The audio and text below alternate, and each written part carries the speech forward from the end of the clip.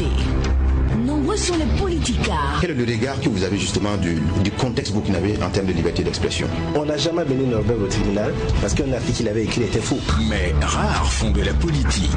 La nature est la horreur du vide. La mort du journaliste Kamikaze parce qu'il a pratiquement offert sa vie pour qu'il y ait un changement. Nombreux ont de la prétention. Mais rares prennent des positions. Qui a été intermédiaire? Nombreux font des jugements. Mais rares ont la justesse. Toutes les femmes se battent autant que les hommes.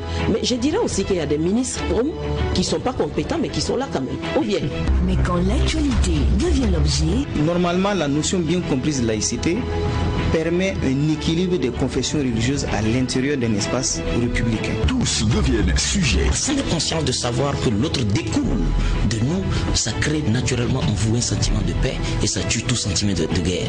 Le tribunal de l'actualité, c'est du lundi au vendredi à 8h et rediffusé les mêmes jours à 22h. Le tribunal de l'actualité, c'est avec Loukman Sanfo, Bernard Boukma et Geoffroy Vaha. C'est de lundi au vendredi de 8h à 9h, simultanément sur Watt FM 100.8 et sur Tree TV, la télé interactive, et rediffusé à 22h. Le tribunal de l'actualité ne condamnait plus l'info sans l'avoir jugé. Tweet TV, la télé interactive.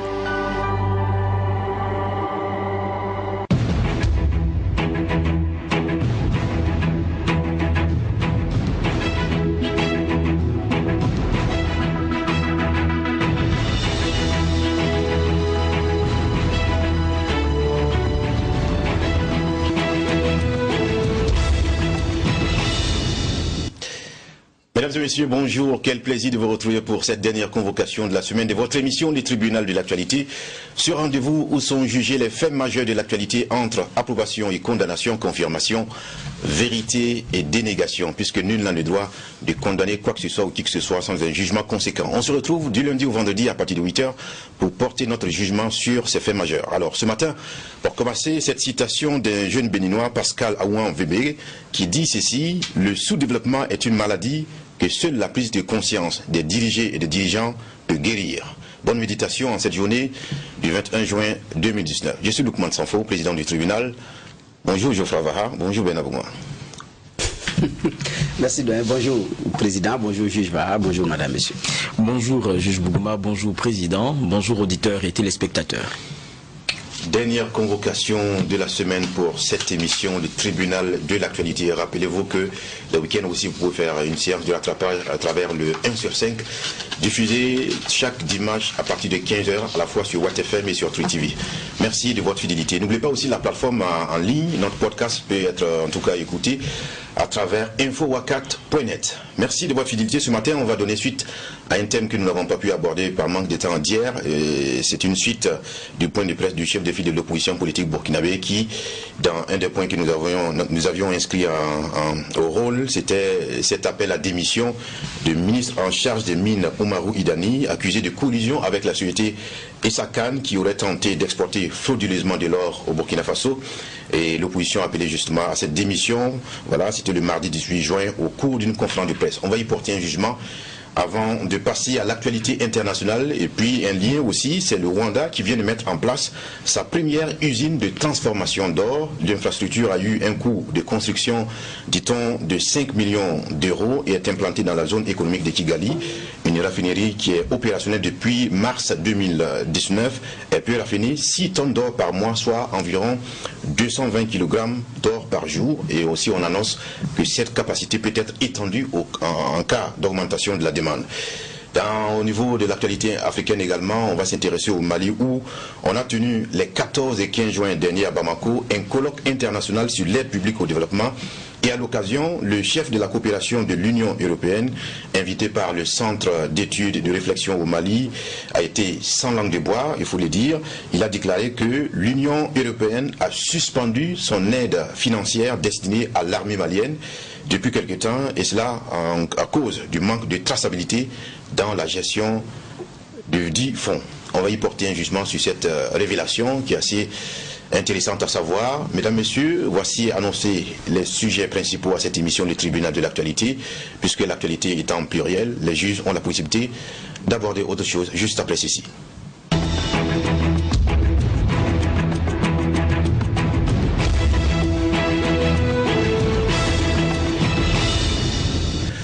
Première partie de l'émission, les avant-propos, la parole est donnée au juge Bougman.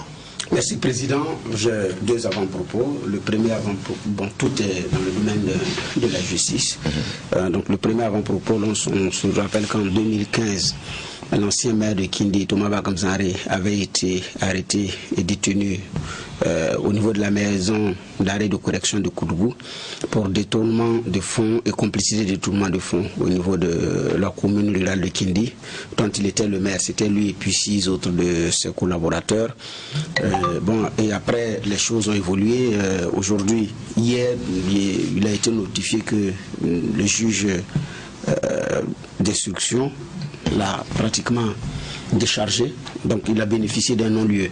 Mais la, question qu'on se pose, c'est est-ce qu'il n'y avait pas un lien? Parce qu'il était en même temps le chef de file des maires qui avait déposé le recours contre euh, une plainte contre l'État en bonne et due forme, donc le régime de la transition, contre la dissolution euh, qu'il a appelée abusive et pour le non-respect de la Constitution, donc quand les, collectivités territoriales ont été euh, dissoutes sous la transition, lui il avait posé plainte et c'était le chef de file d'ailleurs. Et c'était à une semaine du jugement de cette affaire que lui-même il a été mis aux arrêts et détenu à Koudougou.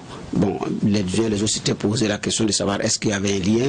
Toujours est-il que c'était sur la base d'une dénonciation qu'il avait toujours décriée. Mais bon, l'affaire a finalement été vidée et puis bénéficie d'un non-lieu dans cette affaire.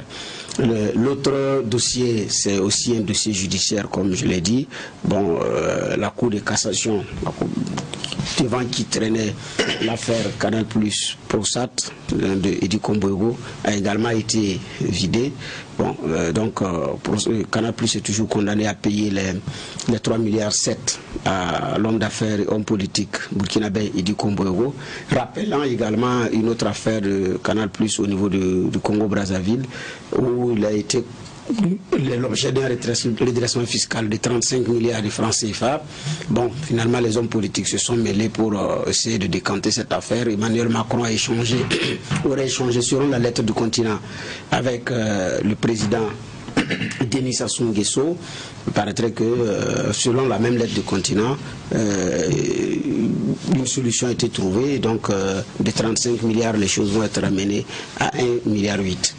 donc, euh, là aussi, au Congo, il y a plusieurs entreprises aussi, euh, à la différence de ce qui se passe ici, qui accusent le régime congolais euh, d'être financièrement aux abois, aux abois et donc d'exercer un harcèlement administratif sur les entreprises Donc même dans le domaine du pétrole, beaucoup se plaignent de cette situation. Alors est-ce que là-bas c'est un abus? Ici, qu'est-ce qui se passe? Donc toujours est-il que euh, c'est cette actualité aussi qui a été développée par la lettre du continent concernant Canal Plus il n'y a pas longtemps. Et puis aujourd'hui, il y a eu une suite judiciaire aussi qui a été donnée au Burkina. C'est vrai que la société avait écrit euh, aux politiques, donc au Premier ministre pour demander son intervention. Bon, je ne sais même pas comment est-ce que l'exécutif va pouvoir s'insérer dans cette affaire. Bon, donc on attendra de voir comment est-ce que les choses vont se faire euh, par rapport à, ce dossier. D'accord. Merci à vous, Ben Abouman, pour ces deux avant-propos que nous apprécions à leur juste valeur. À présent, on passe la parole à Geoffroy euh, merci, euh, Président. Euh, moi, mon avant-propos va concerner tout d'abord, je pense que hier on avait abordé un, sujet qui concernait la question des réfugiés puisque c'était c'était bien la journée et il y a eu une réaction du, du HCR parce que hier il y avait aussi un point de presse qui avait été animé à l'occasion de cette journée-là et la question a été posée puisque nous avons abordé, c'est intéressant aussi de donner les éléments de réponse qui ont été ceux du HCR. Et quand on écoute euh, ce qui a été dit, c'est que de façon très claire pour les personnes qui ont eu à manifester, il y a beaucoup qui ne sont plus concernés par euh, la question de, comment, ils ont un terme qu'ils euh, qu'ils emploient, c'est réinstallation, quelque chose de ce genre. Parce qu'il y a beaucoup qui ont fait quoi, plus de la vingtaine d'années au Burkina et ils sont plus concernés par un certain nombre d'actions que mène le HCR. Donc, au fond, c'est que peut-être c'est la connaissance d'un certain nombre de textes, certaines réalités, mais euh, c'est ce qui a été défendu à ce point de presse et que le Burkina, tout comme euh, ces, organismes internationaux, a un certain nombre de textes, voilà, qui, qui, régissent un peu la façon dont ces personnes-là sont organisées et gérées. Donc, ça veut dire que ça nous, ça nous oriente de façon plus intéressante à mieux peut-être comprendre le problème. On va encore mieux fouiller, c'est sûr qu'on pourra l'enrouler encore une fois. C'était mon premier avant-propos. Le deuxième, c'est la question de, de, monnaie unique qui est voulue par la quinzaine de pays euh, de, la sous-région. On a vu les discussions qui ont été menées à, Abidjan, c'était le lundi et mardi. Il y avait le comité d'experts qui a présenté donc euh, ses, travaux. Il y avait les, ministres des Finances et les gouverneurs de banque centrale de ces différents États-là qui étaient présents. Et puis il y a le ministre ivoirien qui a tenté de rassurer quand même aussi les uns et les autres euh, sur les quelques, les quelques craintes. Parce que quand vous avez un projet vieux de plusieurs décennies, parce que c'est depuis 1983 que la question de monnaie est entrevue et que jusqu'à aujourd'hui, de report en report, on est encore à espérer en 2019 qu'on pourra le mettre en, œuvre en 2020. Euh, utopiquement certain, euh, ne serait-ce que pour le calendrier, et pas que ce ne soit pas possible euh, un jour ou l'autre, mais que pour le 2020 ce soit possible. même je pense que les chefs d'État, c'est pour, ne, pas décourager aussi la machine, que, bon, on garde toujours forcément la date, mais à la réalité, il y a beaucoup, beaucoup encore de, de, réglages à faire. Quand vous prenez le Nigeria, la bonne annonce pour moi, c'est quand on nous dit que le Nigeria a, vu lever certaines de ses craintes, c'est-à-dire la question de l'arrimage du, du, franc CFA, euh, notamment à, l'euro via euh, la monnaie virtuelle française qui n'existe plus, le, franc. Et on dit que ça a été levé. Moi, je me pose la question de savoir est-ce que ça veut dire que, dans tous les cas, ça veut dire que quand on passe à une autre monnaie, notre système d'échange fixe, ça c'est fini. Euh, concernant le franc CFA, on a quelques indices sur le nom que cela pourrait porter, même y a un moment donné, on nous disait que ce n'était plus vraiment euh, ce nom-là écho. Et puis, il y a beaucoup, beaucoup, en tout cas, il y a une bonne évolution des choses. Mais il reste des obstacles parce qu'une monnaie, quoi qu'on dise, c'est la base d'un système d'échange. Donc, c'est ce qui permet l'échange, euh, la, vente et beaucoup d'autres choses. Donc, pour les secteurs ou les, pays qui seront concernés, on ne parlera pas d'une certaine homogénéité à avoir, mais c'est pas loin de cela. Et puis, il faut un genre de, de comment dire cela.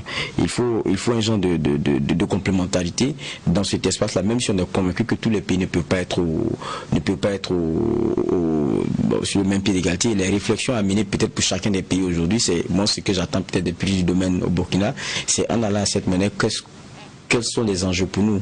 La réflexion, on n'entend pas très souvent.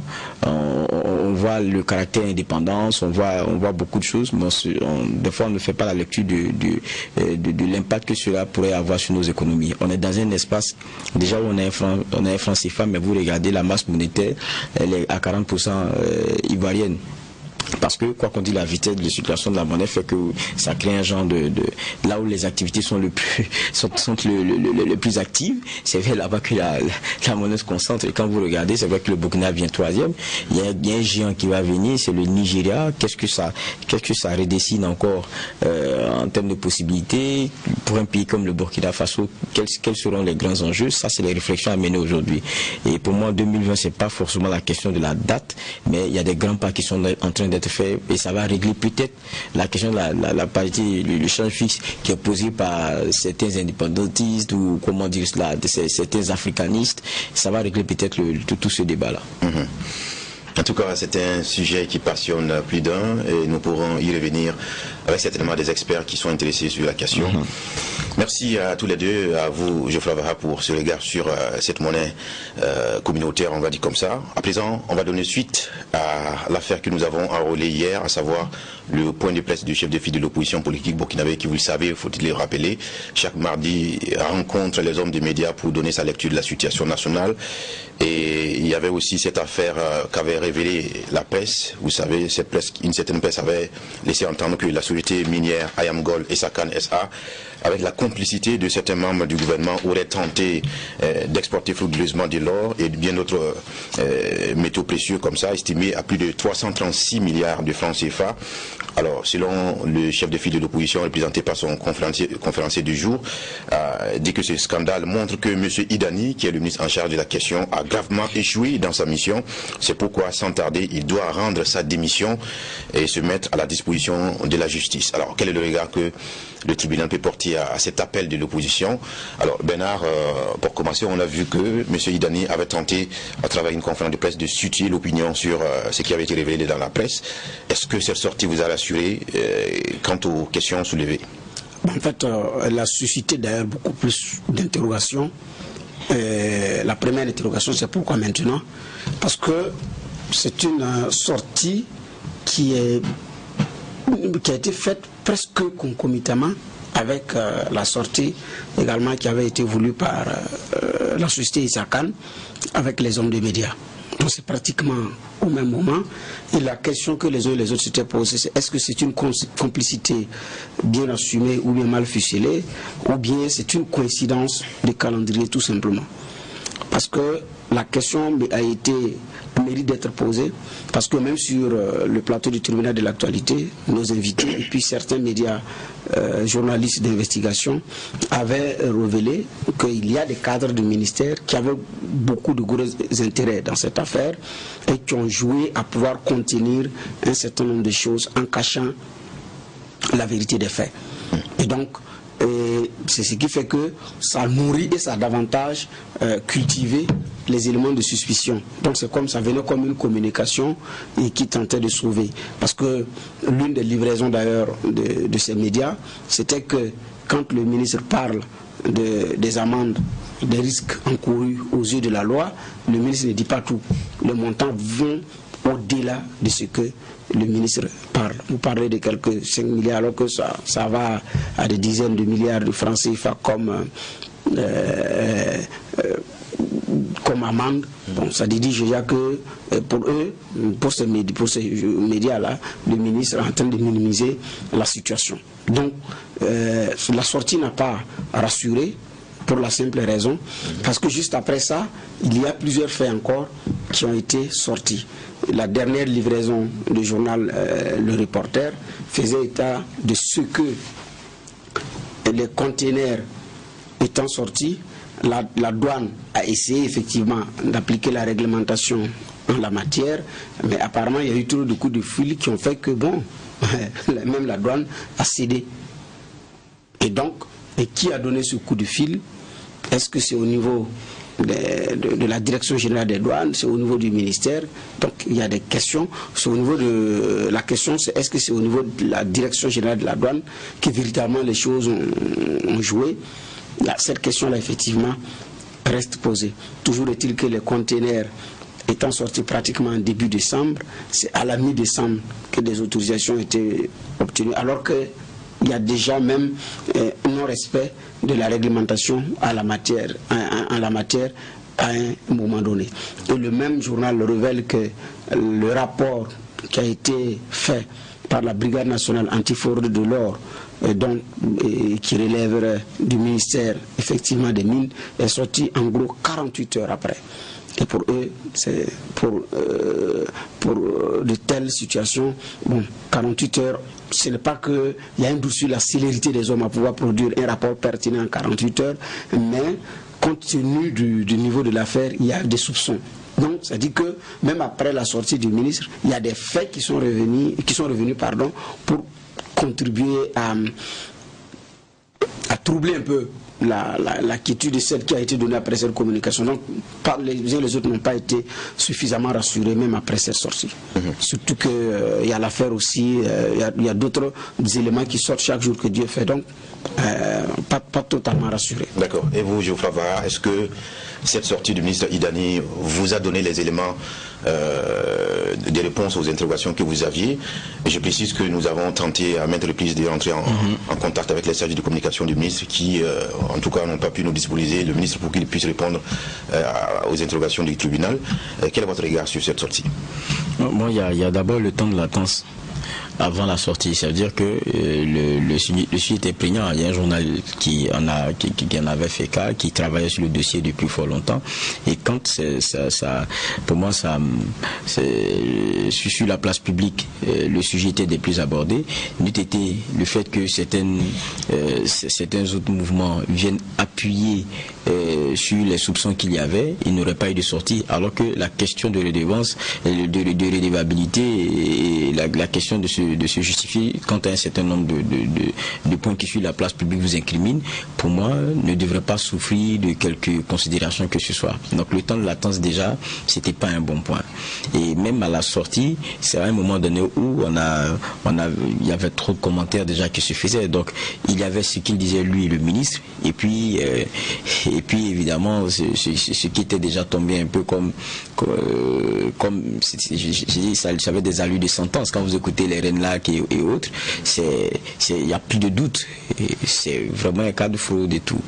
Maintenant, ce qui est dérangeant, c'est que on a comme l'impression que c'est une euh, comme une dynamique communication même avec l'entreprise elle-même parce que l'entreprise un peu dans le même euh, dans le même timing invite les journalistes à venir euh, dans ses locaux visiter expliquer c'est quoi le charbon fin et, et, rappeler encore que pour ce qui est de l'acheminement de ce charbon fin là en dehors des frontières du Burkina eux ils ont eu à respecter tout ce qui est protocole et tout ce qui est, réglementation mais je pense que euh, jusqu'à aujourd'hui, le, problème de fond, là, ne nous, nous ont pas dit. Le problème n'est pas que ce ne soit pas du charbon fin, c'est du charbon fin. Mais c'est la teneur de l'or dedans. Si vous, prenez du charbon fin que vous envoyez avec une bonne teneur d'or pour que ce soit travaillé et puis, et puis recueilli, il y a un problème. Je pense que c'est le ici. En tant que profane, c'est comme ça que nous avions compris le problème qui avait été posé. Et je m'avais reçu ici un confrère qui avait travaillé là du Bama, qui avait travaillé dessus pendant longtemps, qui nous a donné un peu euh, les, les, petits détails. Et ça nous a édifié. Et donc là-dessus, on attendait que le ministre soit plus pointu. Et même concernant l'entreprise, eh, moi j'ai dit, nous tous au fait de la communication, on sait sur un problème comment est-ce qu'on attrape le bout des choses pour ne pas pour ne pas être pris au dépourvu après ou dire que vous avez dit si vous n'avez pas dit ça. Ils nous ont jamais parlé de la question de la teneur d'or dedans. Dans ce qui est parti, il nous dit, il nous dit seulement qu'on a, c'est pas la première fois qu'on envoie on achemine ce type de de de de de, de, de comment on ça de, de, de, de charbon fin. C'est pas la première fois. Et des jours, ils disent, on a respecté eh, tout ce qui est règle en la matière et tout. C'est pas ça le problème. On ce que vous envoyez là. La teneur d'ordre dedans là, c'est quoi? Je pense que le problème, il est, il, est, il, est, il, était, il était aussi simple. Maintenant, jusqu'à présent, on attend de voir comment les, les, les, choses vont tourner. Mais moi, je. Mais, mais moi, de, là, je... là, on revient maintenant à l'appel de, de, de, de l'opposition, de là, appeler à la démission du ministre. Bon. Parce que là, ce ne sont pas des connivences supposées pour l'instant, parce que rien n'est statué? Non, il faut comprendre que l'opposition aussi est dans son rôle. Hein. Quand ça chauffe sur un ministère, très vite, ils, ils, sont pressés de demander la démission. Étant entendu que lorsque la pression se fait et que la décision de démission euh, est, est ou, que le, ministre est remercié, ça sonne comme une victoire pour l'opposition. Donc, euh, très tôt, il faut être avant-gardiste dans cette lutte-là pour après euh, s'arroger les fruits de, de, de, des décisions. C'est ça la réalité. Donc, ils sont dans leur rôle que de le faire. Maintenant, est-ce qu'ils ont des éléments probants. L'essentiel pour eux, c'est qu'il y a des soupçons, donc il n'a qu'à partir c'est la logique de l'opposition. On, on, ne va pas, on va pas changer euh, leur façon de leur façon de faire. C'est comme ça un peu partout. Mm -hmm. Mais sur ce problème, moi, je pense qu'il y a des enseignements et c'est ça le plus important et le, le, fondamental à tirer. Quand on prend le cas de cette mine là, on nous dit que ils ont fait des investissements pour euh, que ce charbon fin là puisse être traité sur place mais euh, même les investissements consentis permettent pas de traiter la quantité de charbon fin qu'ils ont. Et donc ils sont encore contraints de l'amener à l'extérieur. Alors qu'on on apprend aussi par ailleurs et je, passe le contrôle de Bernard qui a de bonnes informations qui nous prouvent qu'il y a des, des, nationaux qui avaient promis avec à travers certaines technologies de pouvoir le faire ici. Et vous savez on a plein de rencontres ici sur le secteur des mines avec des rencontres B2B qui sont euh, qui, qui, qui, qui, sont faites avec euh, des, des, des, dire cela, des panels, des choses qui permettent en tout cas de mettre en contact ceux qui sont à capacité de gérer un certain nombre de problèmes dans les mines et ceux qui sont euh, demandeurs notamment de ces services-là. Mais euh, le, compatriote les répartit comme ça, hein, parce que c'est... Donc, s'il faut acheminer à chaque fois ce, ce, fait ou bien des éléments, et c'est ça la, notre réalité aussi, des éléments que nous ne maîtrisons pas vraiment, par lesquels on pourrait euh, exporter de l'or d'une façon ou d'une autre, alors que la solution, c'est de pouvoir garantir le traitement ici, pourquoi ne pas, ne pas aller vers la restriction que ce soit traité ici, si, si c'est possible et que l'investissement pourrait être fait En fait, je dis, à un problème donné, euh, il faut tirer des leçons. Le problème n'est pas le verbiage ou bien les accusations. Mais après ça, on fait quoi? Le charbon fait va continuer de sortir sans que nous ne puissions avoir un regard clair là-dessus, maîtriser la question des teneurs ou quoi que ce soit. Ou bien on va obliger à ce que le traitement se fasse ici pour que de façon définitive le problème soit réglé. C'est la question que je me pose aujourd'hui. Nous ne sommes pas des puristes du domaine, mais au moins quand on a un problème, il y a, une certaine logique qui va après. Mais c'est le débat là qu'on n'entend même pas euh, se fait euh, en termes de perspective, même pour le ministère qui gère ces choses. Et ça, je reste un peu sur ma fin lorsqu'on aborde, on aborde ce sujet. Oui, Bernard, le, lien qu'on fait avec la sortie du CFOP, euh, ont-ils raison de demander la démission des premiers responsables du ministère? Bon, comme l'a dit hein, euh, Geoffroy, premier postulat, l'opposition est dans son rôle. Donc c'est en même temps un, objet d'activisme politique pour pouvoir demander, ce n'est pas la première fois d'ailleurs euh, que l'opposition demande la tête ou réclame la tête de certains ministres. Donc on a vu avec les ministères de la sécurité, de la défense et tout, euh, ce n'est pas euh, la première fois que l'opposition demande cela. Et ensuite, par rapport à, à cette situation, il faut regarder les choses au-delà du jeu politique. Il y a une question d'un ministère qui est en jeu, la crédibilité d'un ministère qui est en jeu, mais aussi la crédibilité et ou l'intégrité d'un ministre en jeu. Donc, en fait, ces éléments mis sur la balance, effectivement, méritent qu'on regarde les choses avec, euh, avec prudence et avec suffisamment de recul sans verser dans la passion, dire bon, comme c'est comme ça, il n'a qu'à partir, comme c'est comme ça, il n'a qu'à rester, parce que de toute façon, c'est une affaire qui continue. Euh, le procureur général a demandé un rapport, et c'est ce rapport-là d'ailleurs qui a une enquête, et c'est ce rapport, le rapport de cette enquête-là qui a relancé effectivement la machine. Donc on attendra de, situer clairement suffisamment les responsabilités. Toujours est-il que, étant donné qu'il est ministre de la République, étant donné aussi que la Haute Cour de justice est toujours en, position, euh, pour la suite judiciaire, bon ça c'est un autre, c'est une autre paire de manches, c'est un autre combat à mener. Mais à un moment donné, ça devient des, des, principes, des, principes par rapport à, l'image qu'on veut renvoyer en tant que ministre de la République ou en tant que patron d'un département ministériel. Et donc, travaillons aussi avec les collaborateurs dont devant le code civil vous êtes euh, en même temps responsable parce que vous êtes responsable de ceux qui sont sous votre responsabilité. Donc je pense qu'il y a ces éléments-là également qu'il ne faut pas perdre de vue. Sinon, bon, euh, euh, l'opposition naturellement est dans son rôle. Mais comme les enquêtes continuent et l'affaire n'est pas suffisamment établie, bon, on regarde et on suit effectivement de près. Oui, vous voulez ajouter, allez-y. Au-delà du, au-delà de la question du, scandale euh, suscité avec cette affaire-là, c'est ce que représente les mines et ce qu'on en veut euh, pour le Burkina. Et puis, euh, à la fin aussi, la perception qu'on veut, qui soit celle des populations, sur la façon dont c'est géré. Quand vous regardez, dans l'affaire, on parle de coups de fil qui sont qui sont faits pour laisser la cargaison partir. Bah alors qu'on sait qu'une fois qu'elle a quitté les frontières, c'est fini. Ah oui. Donc, ça, ça pose problème. Ça, ça pose problème. Même quand vous voyez euh, ces mines-là, on sait que c'est des gros sous. Et à chaque fois qu'il y a un problème, on a l'impression qu'on est dans un genre d'inertie, on n'est pas capable de, taper du poing sur la table pour leur dire respectez ceci, respectez cela. Sur la question des maires qu'on a reçus ici, combien on décrit le fait que, euh, pour ce qui est de leurs engagements euh, vis-à-vis d'eux, les fonds et tout, qui sont actés et décidés par notre Assemblée nationale, rien n'est fait. Il n'y a pas si longtemps, c'était au Siao, quand le, Premier ministre rencontrait les, maires euh, du, du, parti au pouvoir, la question est encore ressortie c'est enjoindre les gens à, respecter leurs engagements. Depuis quand est-ce que vous et moi, si on ne, respecte pas nos engagements vis-à-vis de la loi, on n'a pas, de problème? Je pense que la plupart des Burkinabés le savent tentez de vous marier, vous allez comprendre que c'est là où vous allez payer toutes euh, vos petites dettes.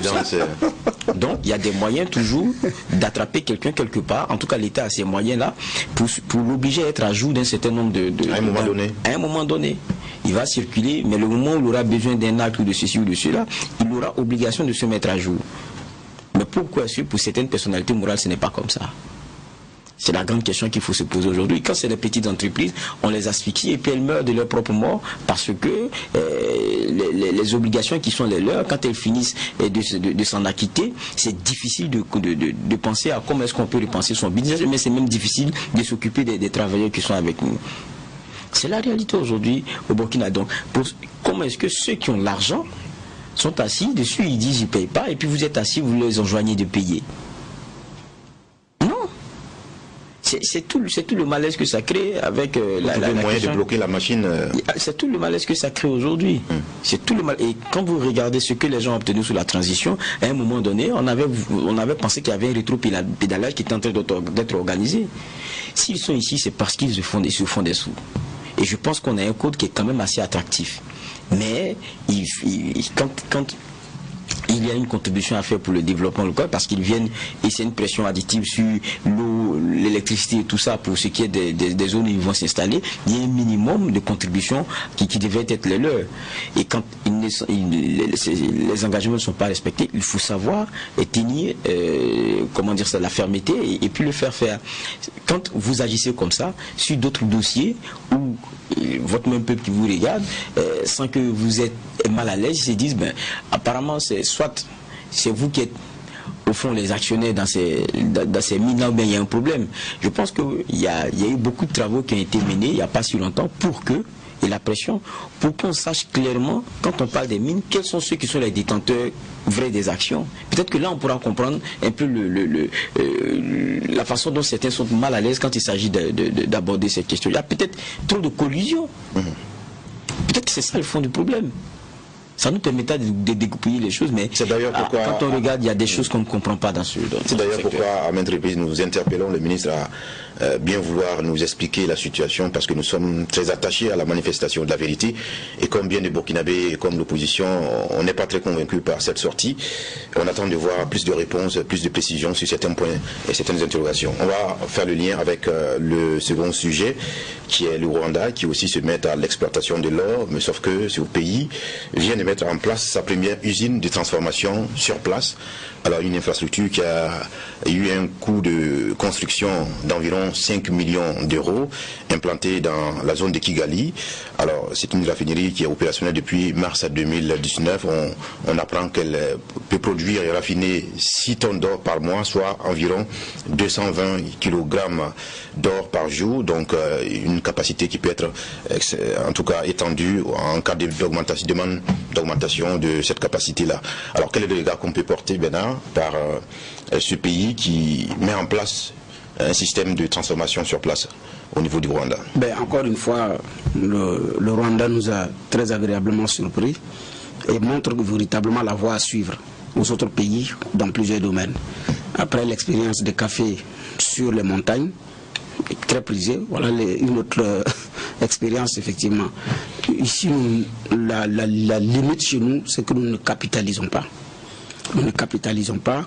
Sinon, un pays euh, minier qui est là, et jusqu'à présent, il faut jongler pour envoyer le charbon fin pour aller traiter ailleurs alors qu'on éduque à l'expertise locale et que fait le politique en tant que moyen de pression pour au moins capter ses sous. Ailleurs, partez ou tentez de vous installer en, en Côte d'Ivoire à côté dans le domaine des mines, mais vous allez payer beaucoup de choses avec les Ivoiriens. Si la société n'est pas fondée par un Ivoirien, mais elle doit être parmi les cadres dirigeants, il doit avoir des Ivoiriens. Pour que aussi l'expertise nationale, les, fils et les filles du pays puissent effectivement en bénéficier. Mais ici, ce que nous, citoyens burkinabés, vendons aux miniers, je dis parfois c'est les oignons et puis les poulets. Puis ça s'arrête là.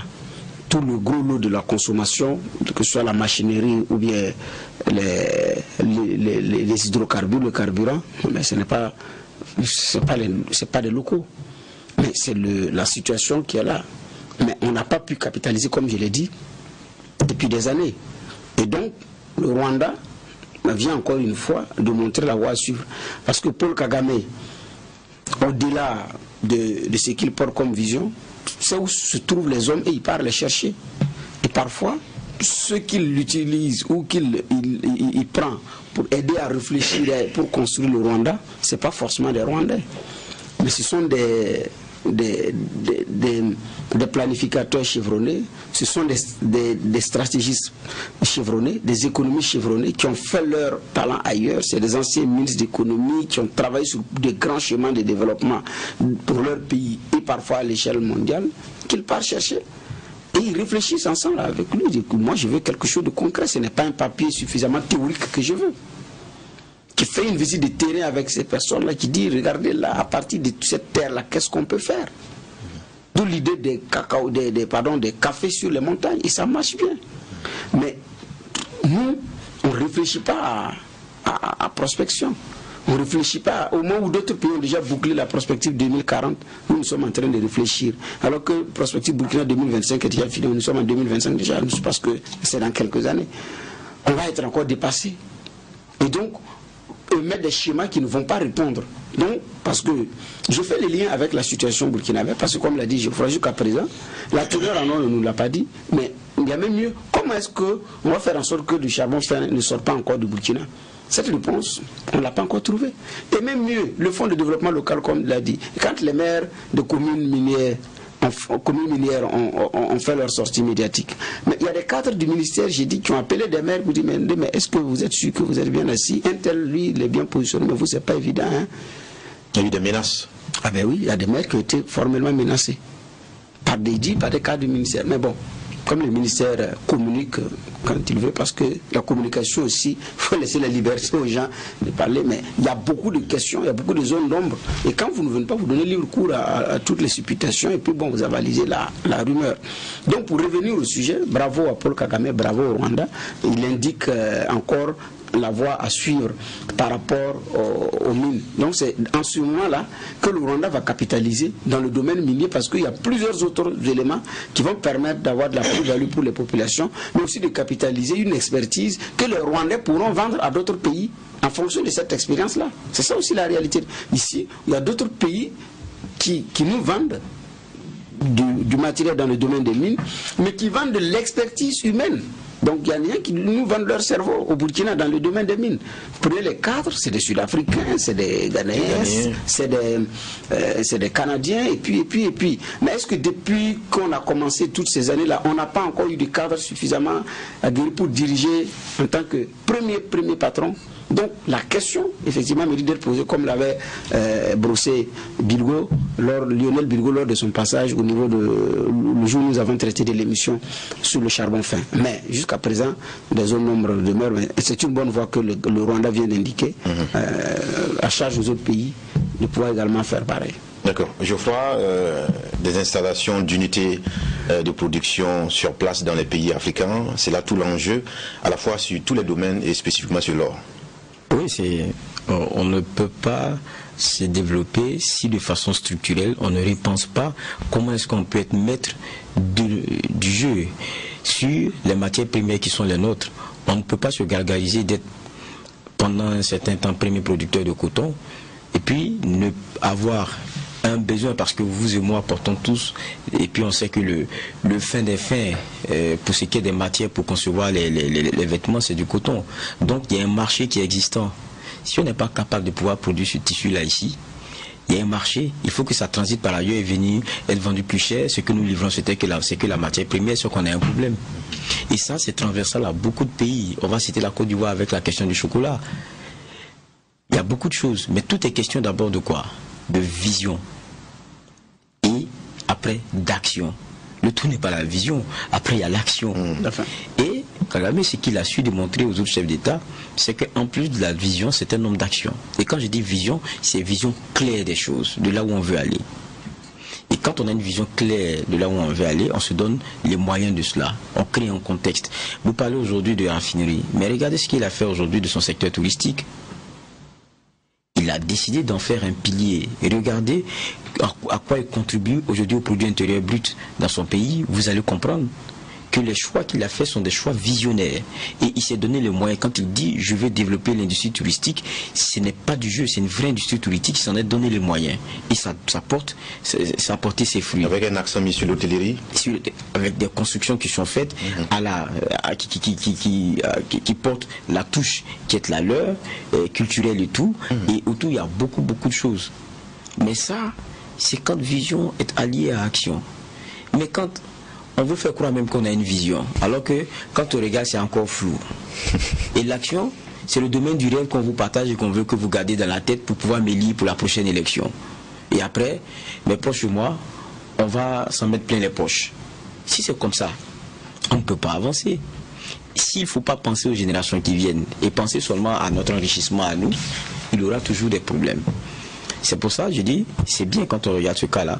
Mais euh, moi, j'ai été euh, euh, lors de, de, comment dire cela, j'étais avec le, ministre du commerce dans la, la- il y a une zone cotonnière. Lorsque il s'agissait de, de parler du coton et tout, je pense qu'il y avait, il y avait beaucoup de, et j'ai aimé euh, l'initiative, il y avait beaucoup de couturiers que nous avons, François Premier et autres, qui étaient là et qui sont euh, venus à la rencontre avec les producteurs de coton, évidemment, et puis les sociétés qui sont dans, dans, dans la question de filature et tout, pour discuter de la question du coton. Comment est-ce qu'on peut faire de sorte à ce qu'au moins le coton que nous du avons, salon du textile. voilà, pour, pour que le coton que nous avons, on ait une bonne partie qui soit transformée sur place.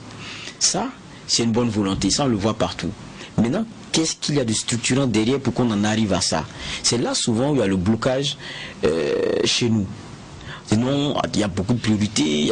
Non, à un moment donné, il faut faire des choix et puis après en bénéficier des, des retombées. Et souvent, les choix, il faut les faire de façon courageuse. Mais, je suis désolé, cela se fait aussi dans une rigueur de gestion. Si chaque matin qu'on se réveille, c'est un directeur de temps qui a détourné, c'est un temps qui a fait ceci, mais il est protégé, hein, il n'y a pas de problème, lui il est protégé. Vous pensez que vous pouvez avoir cette vision-là et que l'effort que vous demandez aux populations pour, pour que demain on ait des retombées, cela soit bien vu? Ah non, ça ne peut pas aller. Où on trouve maintenant le, le, le, euh, comment l'ingénieuse façon de ne pas mettre dans ses poches, mais mettre ça dans les, dans les poches des proches, parce que les poches des proches sont nos poches? C'est c'est ce que les gens font aujourd'hui. Mais comme ça, on ne peut pas développer. Et comme ça, on ne peut pas se développer. Donc, je dis, c'est un exemple qui est intéressant. Commençons par exemple, quand on parle du cas burkinabé, sur la question du charbon fin pour lequel il y a un scandale, c'est dire qu'à partir de maintenant, comment est-ce qu'on peut aller à ce que, pour ces entreprises minières-là, il y ait il y ait ça. Et on essaie de circonscrire un certain nombre de problèmes et, et puis on avance. Maintenant, N'oublions pas aussi euh, quelque chose, c'est que ça se prépare. J'ai dit de- des choix qui se font, mais derrière, il y a, il y a, un- il y a à implémenter quelque chose de structurel pour que vous puissiez avoir, parce que c'est des domaines de pointe, euh, des industries de ce genre-là, il faudrait une formation aussi et qui va avec. Il faudrait que vous ayez des nationaux qui soient formés pour cela. Il faudrait que vous ayez des écoles où, au, au cas échéant, que vous envoyez des gens vous, se faire former et venir former aussi une autre génération. Aujourd'hui, quand on parle du, du, du cas burkinabé, avec la quinzaine, la vingtaine d'années euh, dans lesquelles on a un secteur minier qui est des plus qui, qui est des plus porteurs, il y a beaucoup qui sont allés se former dans, dans- dans les mines. Mais aujourd'hui, la réalité, c'est quoi? Quand ils viennent, il y, a, il y a des postes auxquels ils ne peuvent pas, ils, ils ne peuvent pas accéder. Celui qui vient et qu'on envoie d'ailleurs, qui vient n'est pas forcément plus bon que lui. Mais ça, c'est des injustices qu'on a. Maintenant, je termine, c'est pas une négation, mais je pense que quand souvent on, parle de nos modèles, on oublie quelque chose. Quand on critique nos, les passes qu'il y a eu à un moment donné, qui avaient pour objet premier les désétatisations, les, pri- les privatisations, ça s'est fait au profit de qui? C'est-à-dire que des secteurs où nous étions forts, où l'État tenait tout, on l'a obligé à restreindre ses, euh, ses dépenses et tout, en se disant il faut, il faut laisser. Mais quand ils ont laissé, qui est venu prendre? Nous n'avons pas les moyens de prendre. On n'avait pas des privés qui étaient capables de le faire. C'est- encore eux qui sont venus prendre. Et aujourd'hui, moi je dis le made in là, ça ne suffit plus. Il faut le made by. C'est pas parce que c'est fait au Burkina Faso que c'est si burkinabé que ça. Vous prenez les capitaux, c'est seulement 20% l'État. Tout le reste là, c'est ponctionné, c'est réparti ailleurs. Vous prenez téléphone immobilier, il y a plein de, il y a plein, il y a, il y a plein de choses qu'on va citer ici. On va dire non, c'est burkinabé. Non, je suis désolé. Tout ce qu'on a qu'on parle dedans, si c'est trop, c'est 20, 25%, 22%. Les capitaux sont étrangers. Tout le reste est parti ailleurs. 20-25% c'est beaucoup. Le mais made in là, c'est bien, mais il faut que ce soit des made by. Pas, faire pas, faire pas maintenant, pas faire haut, mais faire part des Burkinabés. Et ça, c'est des choses qui se, qui se, qui se pensent, mais structurelles. Euh, Bernard, tout cela est bien beau, mais est-ce que souvent dans certains domaines, le regard du profane ne, ne peut pas tromper? Parce que dans, dans certains secteurs comme l'or, par exemple, on entend des gens dire euh, pourquoi on n'a pas des, des- des installations euh, 100% euh, nationales ou en tout cas l'exploitation euh, est nationale? Ou bien dans certains secteurs, on dit pourquoi c'est pas l'État qui investit pour qu'on on ait tout de suite des retombées? Est-ce que les coûts et tout et tout, ce n'est pas des, des choses qu'il faut regarder? Mais il y a des domaines au moins où on peut. Si on dit que l'or c'est de la grande machinerie, c'est du lourd et tout, bon, mais et le coton nous, portons des habits, c'est maintenant que la qualité du fil s'est suffisamment améliorée, au point on peut faire des chemises avec euh, le façon d'Anfani. C'était pas possible. C'était lourd. C'était plus lourd que le jean. Mais aujourd'hui, vous avez des tissus façon d'Anfani qui rivalisent avec certains tissus sur le marché. C'est devenu fait. Il, reste maintenant à travailler encore, à mettre des moyens à la filature pour, pour avoir encore un fil qui puisse nous faire un tricot ou une chaussette. Et ça, c'est possible. Les autres le font comment? Mais ça, même, on ne l'a pas. Donc, le défi est à ce niveau. Ce n'est pas seulement dans le domaine de l'or, même dans le domaine du coton, où nous étions leaders. Parce que pour le moment, on a, on a régressé. Il y a eu une expertise également à vendre aujourd'hui. Et dans plusieurs domaines, dans, le, dans la chaîne de production du coton, normalement, quand ça quittait le champ, ça rentre dans le schéma de la transformation, ça sortait en habit. Mais pour le moment, on ne l'a pas. Même ceux qui voulaient faire ça, qui voulaient venir avec l'entreprise turque, qui a eu beaucoup de, beaucoup de problèmes, qui disaient qu'ils allaient produire même jusqu'à l'habit sur place. Mais c'est comme l'a dit Geoffroy. Il faut regarder, ça vient d'où? Depuis qu'on a commencé à, faire du coton au Burkina Faso, est-ce qu'on a réfléchi à cela? Ça, c'est la question de la vision. Et maintenant, l'action, comme l'a dit Geoffroy, pour propulser. Ça, ce n'est pas. il y a le, et bien, il y a, bien d'autres domaines. Dans le domaine de la transformation. Est-ce qu'aujourd'hui, le haricot vert burkinabé, on ne pouvait pas avoir ça en, en boîte de conserve? Comme les olives qui nous viennent ici à Ouaga en boîte de conserve est-ce que ça c'est trop c'est pas on n'a pas pensé à capitaliser penser à, à améliorer. Non non non. On produit du haricot vert c'est saisonnier. À un moment donné la dame sort avec son plat il y a une mévente elle brade et puis elle s'en va. La tomate c'est pareil. Il brade et puis Les mangues. les mangues c'est pareil les uns et les autres viennent, ils s'arrêtent, euh, les chauffeurs, les camions qui quittent les pays côtiers pour la, tomate, il arrive, on lui dit bon la caisse fait tant, il dit bon lui il peut pas payer tant, lui il peut payer. On lui dit ça fait 100 francs, lui il peut pas payer à 100 francs, lui il peut payer à, à 60 francs. Et puis il part s'arrêter. Il rentre dans son véhicule, il met sa musique, il assis. Mais il part pas, il assis. Et c'est une denrée périssable. Vous êtes obligé de dire bon chef pardon, faut bon 60 francs c'est trop, mais est-ce que vous pouvez aller à 75 francs? Vous êtes obligé en tant que producteur qui avait investi, qui, ou les intrants, tout et tout, c'est vous qui avez la force physique, c'est vous. Lui, il a mis son carburant, il est arrivé, mais c'est lui qui fixe le prix. Il y a un problème. Est-ce que ça, c'est la faute à. Ah non. Comment est-ce qu'on n'a pas su développer des petites unités industrielles dans ce domaine-là depuis longtemps? Non. Et il y a plusieurs domaines au Burkina où on pouvait capitaliser, on pouvait. Ça, ça peut se faire. Ah, ah, ah. Mais on n'y a pas. Et ce n'est pas seulement le Burkina. Hein. Prenez la plupart des pays francophones, c'est dans cette situation. La première chocolaterie ivoirienne quand C'est sous Alassane. Mais la Côte d'Ivoire, premier producteur mondial du cacao. Café, deuxième. Mais qu'est-ce qu'on a fait? Je pense qu'il y a une réalité, à- il y a qu'on on a besoin maintenant d'hommes de vision, mais d'action à la tête de nos pays, pour pouvoir effectivement impulser effectivement une dynamique de développement. Et pour terminer, même les produits qui nous viennent d'ici, d'autres pays, en général, c'est des produits de la manufacture. Ce pas des grosses industries, ce pas des grandes usines. Mais on réfléchit à une bonne promotion de petites et moyennes entreprises, de petites et moyennes industries qui puissent permettre effectivement d'améliorer le quotidien et, et de revendre le, le surplus. Donc là, à ce niveau-là, on, on pêche beaucoup. Je dis, donc le Rwanda nous a indiqué une voie à suivre et dans bien de domaines, nous pouvons capitaliser. On n'est pas forcément, on n'a pas forcément obligé de faire ça dans l'or seulement, pas forcément. Non, pas du tout. Il y a, il y a plusieurs autres domaines où on pouvait, on pouvait faire mieux. D'accord. Terminer avec le produit de l'élevage. Quand un bœuf quitte Guibo pour aller par exemple à Abidjan, mais à l'arrivée, il perd combien? Il perd au moins 5 kg, peut-être plus pour le trajet. Mais s'il est vendu en même temps, dépecé tout et tout, il y a d'autres produits qu'on garde. Il y a les cornes, il y a les pattes qui peuvent servir à autre chose. Mais le, bœuf part avec tout ça. Jusqu'à présent, nous n'avons pas réussi ça. Ce n'est pas une affaire de grands moyens, on n'a pas réfléchi. On n'a pas réfléchi à comment on capitalise. On est plutôt dans les bagarres intestines de comment je perdure à mon poste. C'est ça notre problème. D'accord. Ceci est une invite à une meilleure prise de conscience et puis à plus d'action, comme l'a dit Geoffroy, parce que souvent, ce n'est pas la vision qui manque, mais l'action de cette euh, vision-là. On va inviter les dirigeants justement à réserver en tout cas euh, une meilleure gestion des choses publiques. Alors, à présent, on va s'intéresser à la situation au Mali euh, qui a valu l'organisation d'un colloque international sur l'aide publique au développement. C'était les 15 et, 14 et 15 juin à Bamako et à l'occasion, le chef de la coopération de l'Union européenne, qui est le premier partenaire en tout cas de ce pays euh, euh, frontalier du Burkina Faso. Donc il a été invité par le Centre d'études et de réflexion du Mali pour y donner une communication. Il a été sans langue de bois et il a déclaré que l'Union européenne a suspendu son aide financière destinée à l'armée malienne depuis quelque temps à cause du manque de traçabilité dans la gestion du dit fonds. Alors, quel est le jugement qu'on peut porter quand on sait que le Mali est au cœur de la lutte contre le terrorisme? Alors, une telle suspension, quelles pourraient être les conséquences et quel est le regard qu'on porte justement de cette aide au public au développement pour nos pays et pour le Mali? Alors, Geoffroy, on commence par vous. Bon, votre regard en attendant cette information Bon, il y a, il y a deux cas quand vous regardez les choses, parce que pour moi, les sujets qui, concernent l'armée et, ces choses-là, les dépenses, il faut comprendre qu'il y a, il y a une obligation de secret aussi qui vous couvre.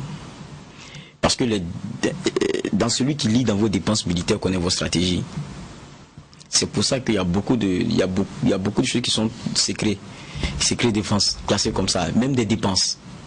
Maintenant, ça peut, ça peut être aussi le point de la porte ouverte à tout type de euh, à, tout type de comment dire cela de malversation euh, financière si celui qui a cela à charge n'est pas un homme de probité.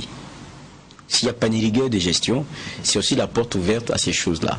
Donc, que le donateur dise, je veux bien lier euh, à quoi ça sert ce que je vous donne dans vos dépenses militaires, j'ai dit il y a deux niveaux de, il y a deux niveaux de prudence à avoir.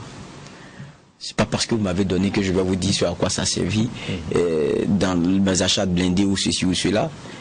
Étant entendu que pour moi, c'est des informations que je ne peux pas donner ou que je ne peux pas partager.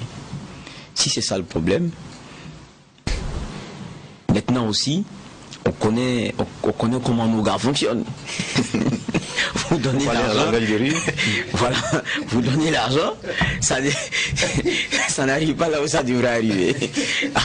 voilà pourquoi je dis il faut prendre la chose avec prudence. C'est les deux niveaux de, de, réflexion que ça me donne moi quand je, quand je vois une déclaration. Parce que là, ce n'est pas de l'argent qui est donné pour aller pour, pour, pour, des questions de, de développement ou, ou ceci ou cela. C'est des questions de sécurité. Maintenant, si les, dépenses de sécurité à certains niveaux sont sous le sceau du secret, l'Union européenne le dit, mais en France, aux États-Unis, allez-y, demandez qu'est-ce qu'ils ont mis où, on vous dira ça ne vous regarde pas. C'est une réalité. il y a des domaines où la traçabilité n'est pas. De quelle traçabilité il parle? C'est ça, c'est ce qu'il faut chercher à comprendre. Quand on aura compris, si la réponse qui leur a été donné, c'est de dire que euh, ça, on ne peut pas vous donner parce que c'est on ne partage pas ça avec quelqu'un. Vous ne pouvez pas donner, ce n'est pas possible que vous donniez en tant qu'armée euh, ce, que vous faites de, de, l'argent, euh, voilà ce que vous en avez fait, vous avez payé ceci, vous avez payé. Quand vous avez fini de faire ça, de quelle stratégie vous parlez encore? On connaît le nombre de, de, que vous avez, on connaît le nombre d'avions là que vous avez, on sait le nombre de temps que vous avez. en, fait, on connaît votre force de frappe, on connaît vos limites. Ça aussi, c'est une réalité. Maintenant, de quelle traçabilité il parle? Est-ce que c'est des process qui sont communs aux États et qui permettent de, de, regarder un peu en termes de rigueur de gestion? Jusqu'à un certain niveau et qu'il y ait une opacité claire là-dessus, ça aussi c'est un autre débat. Peut-être on attendra de voir euh, la, réaction de la partie, la, partie euh, au pouvoir pour peut-être mieux comprendre euh, pourquoi. Mais mhm. quelquefois aussi, il y a des dons quand, ça, quand, quand c'est des alus de, des alus de poison, c'est mieux de refuser. Hein. oui, pour l'instant, certains observateurs maliens sur place ont dit quand cette Union européenne n'a pas la garantie de donner de la main droite et récupérer par la main gauche, elle ne peut que suspendre son aide. C'est-à-dire, par exemple, donner de l'argent et en même temps exiger que les armes qu'on va acheter pour l'armée malienne soient achetées euh, avec, la France. Avec, la France ou, les autres pays, alors que certains partenaires chinois aussi s'approchent. C'est pas évident. Ouais, je pense que Thomas Sankara avait bien vu. Il faut nous aider à nous dépasser de l'air. Mais il faut, ça devient compliqué. Mais effectivement, dans cette situation au Mali, et ça vient après plusieurs événements. Les manifestations de rue contre l'armée française, ça vient après les révélations qui ont été faites par rapport à l'intervention de Serval au Mali, par rapport à ce que l'origine, la, demande originale n'était pas une intervention. Non Serval, c'était d'abord Serval, après c'est Barkhane. Donc euh, la demande au départ, c'était pas une intervention, c'était une intervention aérienne pour réduire seulement euh, les ardeurs des, groupes terroristes et des groupes djihadistes. Ça vient également, et, après, en son temps, l'ambassadeur de la France au Mali, d'ailleurs, qui était opposé à cette intervention, a même été euh, limogé. Et donc, il est rentré. Et cette situation encore vient après le limosage de Soumeli Boubay Maïga, l'ancien Premier ministre, qui était l'homme de Paris. Et c'est ça aussi la réalité. Donc il y a plusieurs interrogations. Mais bon, comme on n'a pas assez de... Il faut être prudent. Il faut être prudent, effectivement. Euh, il prend les choses avec des, pincettes. D'accord, nous allons y écouter pour mieux comprendre euh, les choses dans leur profondeur. Merci déjà d'avoir donné vos avis à cette approche-là. Geoffroy Vaha, chef de euh, directeur de l'information WATF TV, maintenant vous marchez de desk politique. Mesdames, Messieurs, on s'arrête là pour aujourd'hui pour ce qui est de cette émission, le tribunal de l'actualité. Mais l'information continue à la fois sur WattFM et sur TV. merci aussi à tous ceux qui nous suivent à travers nos plateformes info4.net, sur la page Facebook de WattFM et puis à travers Radio LPC, Bobo de Lasso et Tenkodgo. Que la paix nous fasse la guerre, que la guerre nous fasse la paix. Au revoir. À lundi.